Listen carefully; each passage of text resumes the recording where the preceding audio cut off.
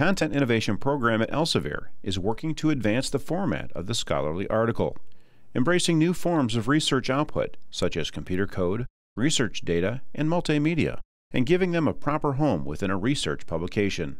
To do that, we've developed a range of discipline specific tools that enable authors to enrich their articles and present their work in all its dimensions. Available on Science Direct and all other Elsevier Journal platforms. The Virtual Microscope is an in article viewer that is fully interactive and enables users to zoom in and navigate within high resolution images.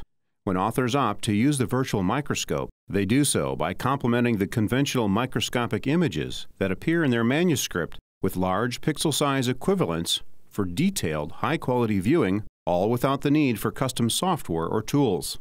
With key features such as panning, zooming, and full screen viewing, authors can engage article readers by showing research data that historically hasn't been easily shared.